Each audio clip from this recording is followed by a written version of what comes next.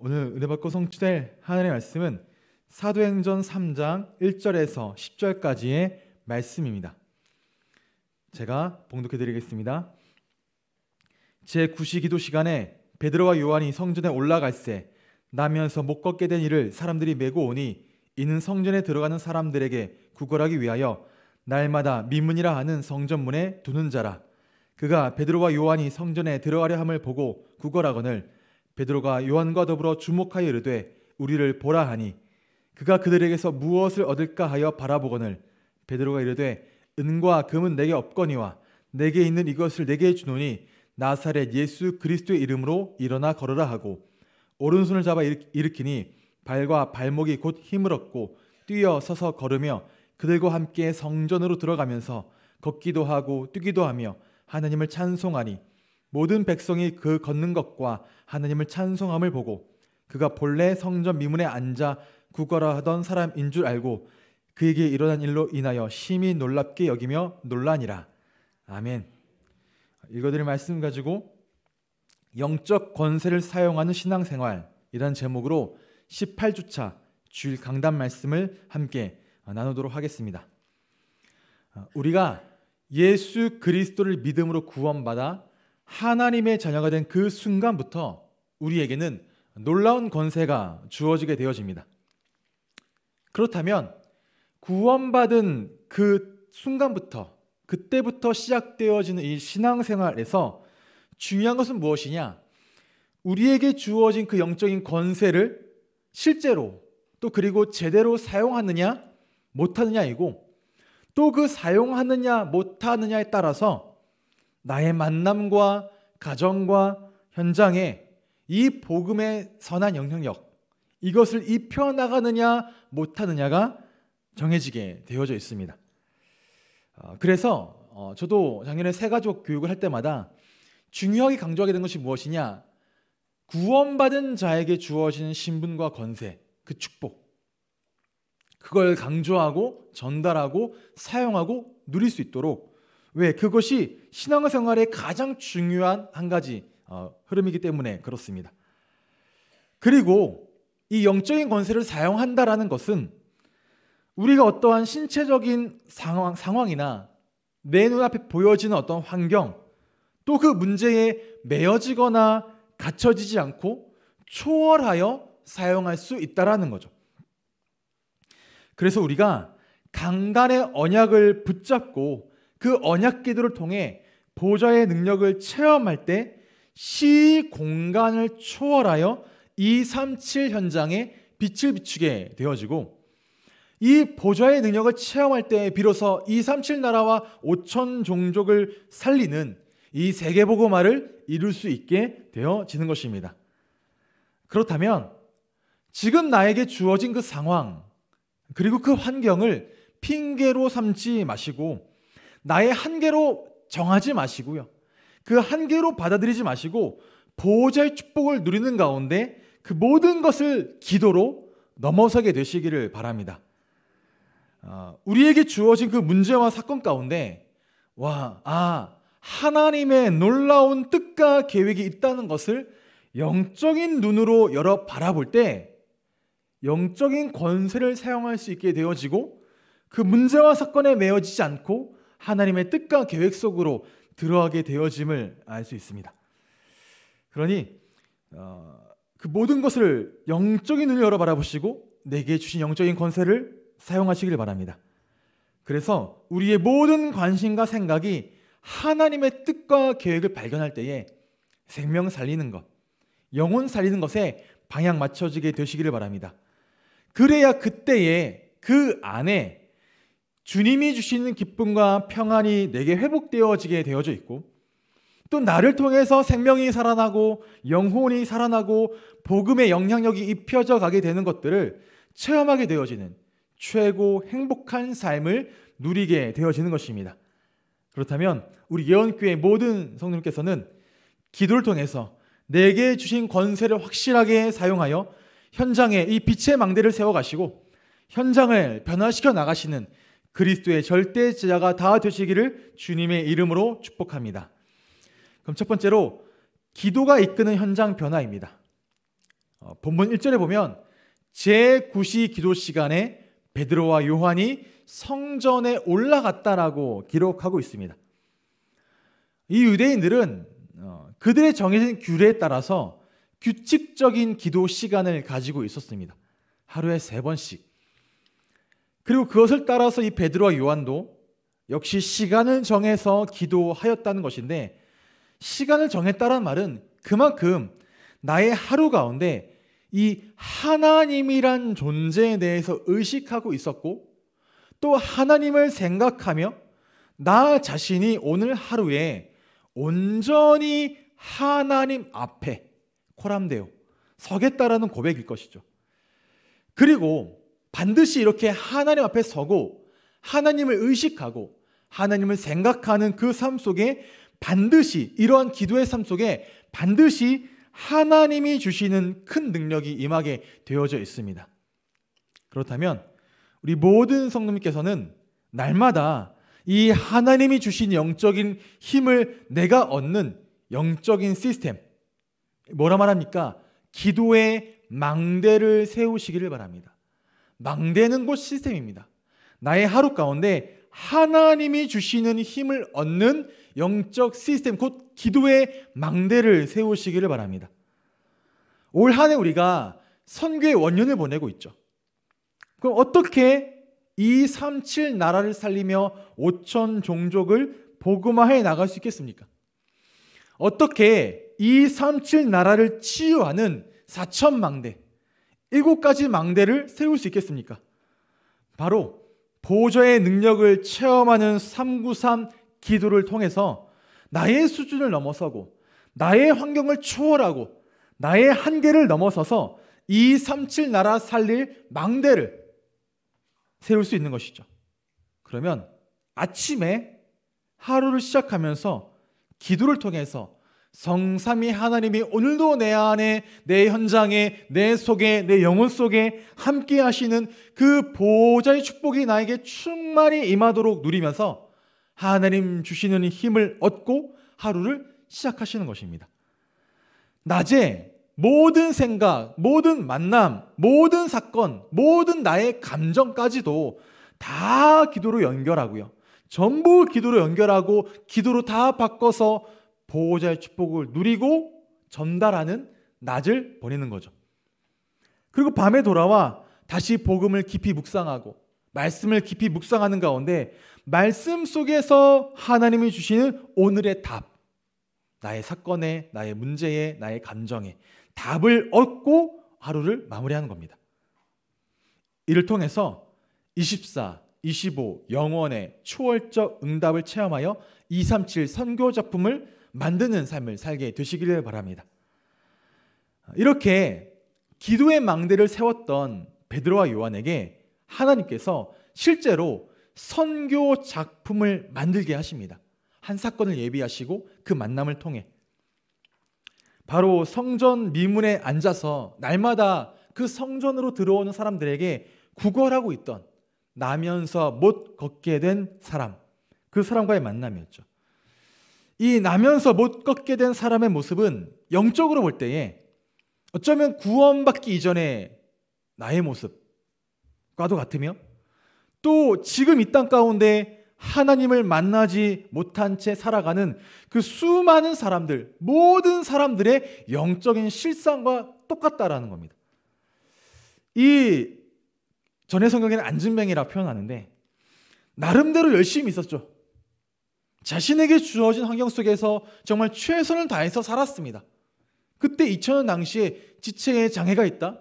다른 거 할 수 있는 게 아무것도 없습니다. 또 그때 유대 사회에서는 이런 질병들은 죄로 인한 것이라 생각했기 때문에 더 그랬겠죠. 그런 상황 속에서 최선을 다해 살았습니다. 그리고 미문이라는 성전에 앉았, 곳에 앉았으니 나름 벌이도 쏠쏠했었을 것입니다. 그런데 뭐가 없느냐? 오늘도 내일도 똑같은 겁니다.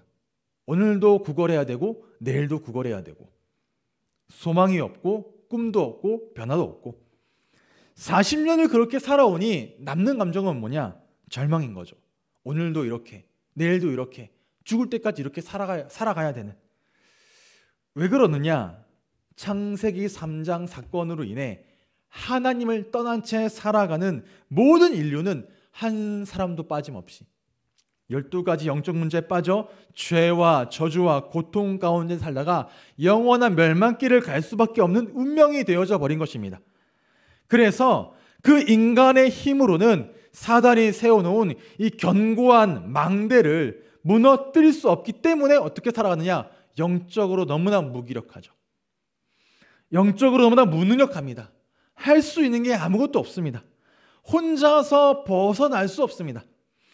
그래서 다른 것을 붙잡아야 되는데 그 다른 것을 붙잡았는데도 불구하고 해결되지 않는 영적으로 완전히 파산한 상태인 거죠. 그래서 무엇이 필요하느냐? 인간의 힘, 인간의 능력, 인간의 배경, 인간이 붙잡을 수 있는 그 어떤 것이 아니라 전적인 하나님의 은혜만이 그 인생 가운데 필요한 것입니다. 그래서 예수님이 이 땅 가운데 그리스도로 우리에게 그리스도로 오신 것입니다.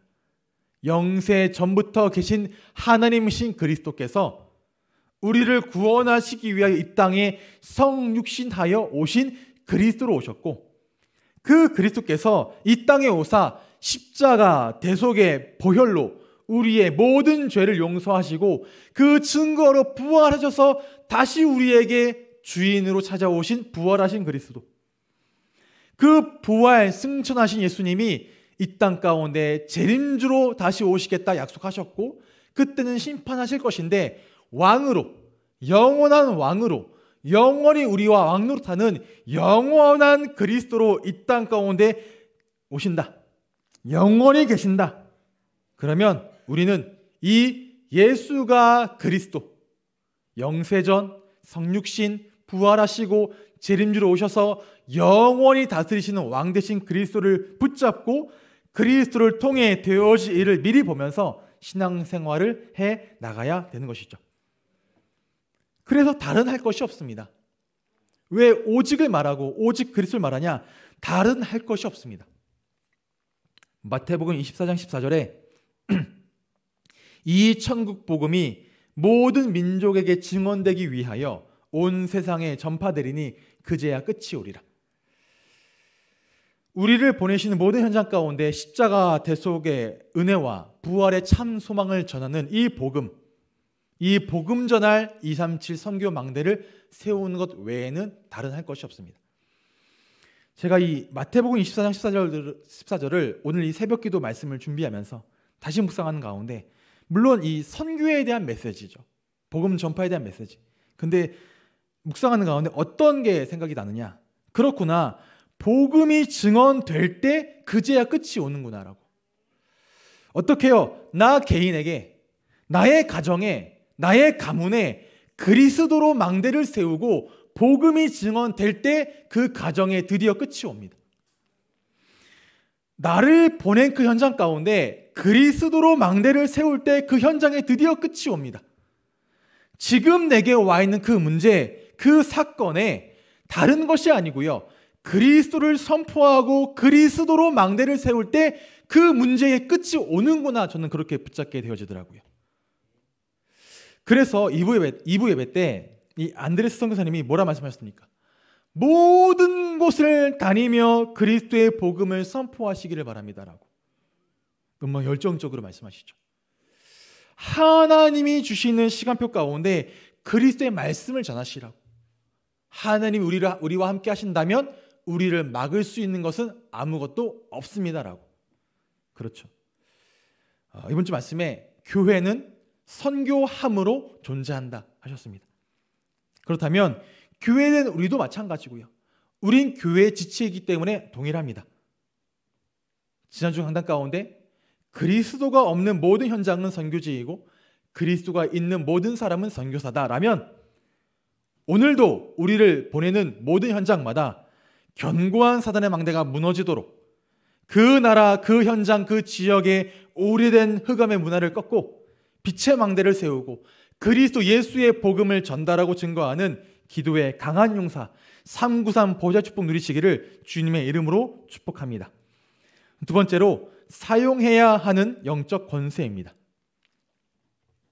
이 성전 미문에 있는 이 안진뱅이를 만난 베드로는 영적인 눈을 열어서 주목했다라고 성경은 기록하고 있습니다. 즉, 그 현장의 영적인 실상과 그 사람의 근본 문제를 바라보고 이 사람의 영적인 필요를 채워줘야 되겠다라는 분명한 목적을 가지고 바라보았다라는 거죠.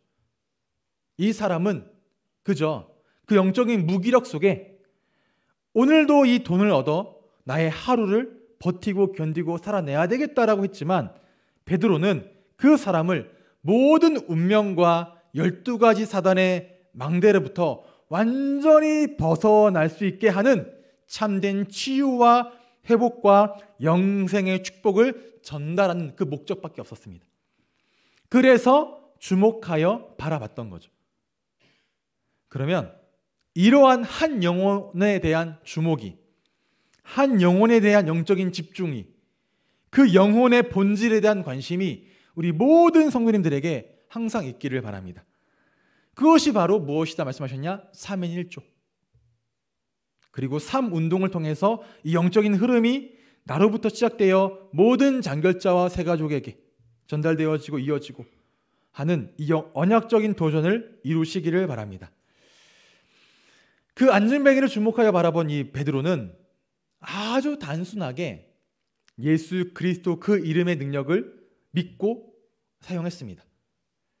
은가금은 내게 없거니와 내게 있는 이것을 내게 주노니 곧 나사렛 예수 그리스도 이름으로 일어나 걸으라 하라고. 다른 이름에 다른 배경에 능력이 있는 것이 아닙니다. 다른 것에 능력 있지 않습니다.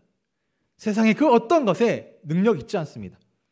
오직 예수 그리스도만이 유일한 중보자이시요 참된 하나님이시기 때문에 예수 그리스도 그 이름의 능력이 있습니다. 그리고 그 이름의 능력이 이미 나에게 주어졌다라는 거죠. 그렇다면 내게 주어진 예수 그리스도의 그 이름의 권세를 확실하게 사용하시기를 바랍니다. 그 이름의 권세로 가문의 오래된 문제를 꺾고요. 가문의 가정의 오래된 흑암의 문화를 완전히 바꾸시기를 바랍니다.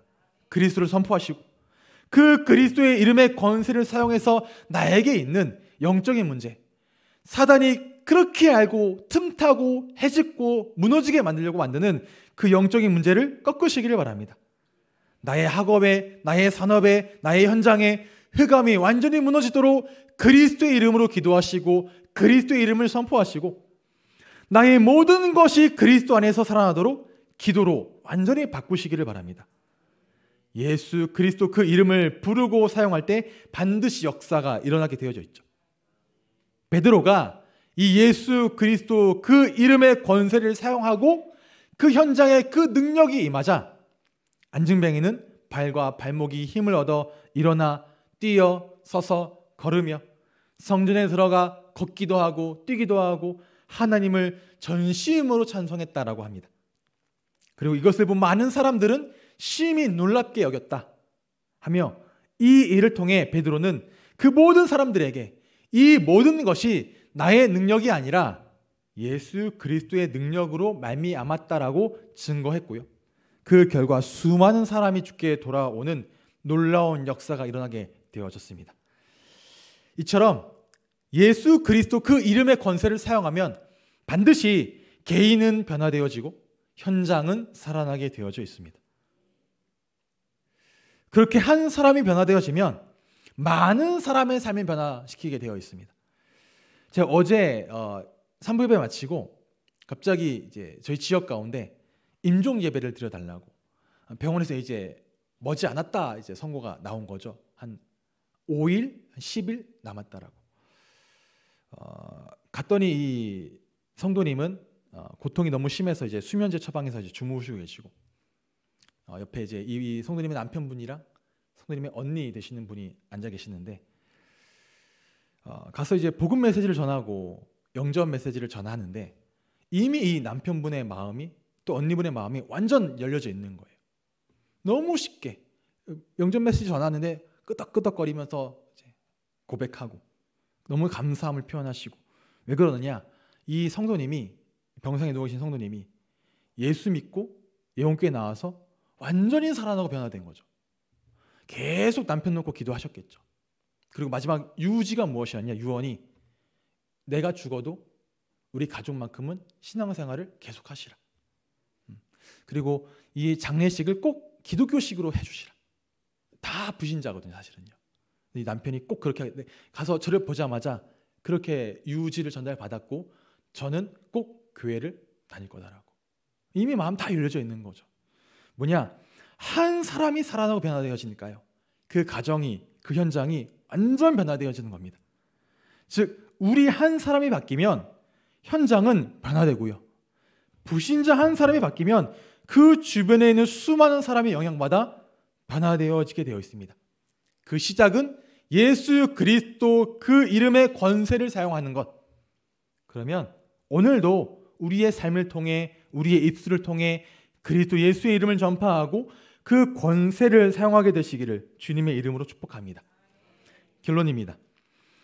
오늘 본문에 앉으니 있는 이 앉은뱅이는 날마다 성전 미문 앞에서 구걸하는 그 인생을 수십 년을 살아왔습니다. 안타깝죠. 근데 더 안타까운 건 뭐, 뭐냐? 이 사람을 날마다 그 성전 미문에 데려다 놓은 그 도움을 주었던 그 사람. 어쩌면 이런 거 방송에 만약에 타면요. 세상에 진짜 칭찬받을 만한 주목받을 만한 너무나 귀한 행동입니다. 너무나 멋진 행동입니다. 너무나 값진 행동입니다. 또 그렇게 자신의 시간과 삶을 들여 너무 귀한 도움을 계속 지속한다? 칭찬받을 만한 일이죠. 그런데 안타깝게도 이 사람의 근본 문제, 영적 문제는 해결해 주지 못했다는 것. 적당히 구제도 하고, 적당히 봉사도 하고, 그런 구제와 봉사가 세상의 기준에서는 너무나 칭찬받고 너무나 인정받을 일인데, 그것이 이 사람을 자립시켜 세워주기는 커녕 더욱 미자립의 상태로 계속해서 다른 사람을 의지하고 하루하루 하루 살아갈 수밖에 없도록 다른 사람을 의존해야 되는 그 상태로 만들어 버린 거죠. 왜냐? 그 사람이 하나님 만나지 못하면 결코 자립할 수 없고 행복할 수 없습니다. 그 사람을 둘러싸고 있는 사단의 망대를 예수 그리스도의 이름의 권세로 무너뜨리지 않고서는 참된 해방, 참된 자유 얻을 수 없고 영적인 문제, 근본 문제 해결되지 않고요. 그들의 인생을 세워줄 수 없습니다. 그래서 예수가 그리스도 되신다라는 유일성의 복음을 가지고 생명을 살려야 하는 것이죠.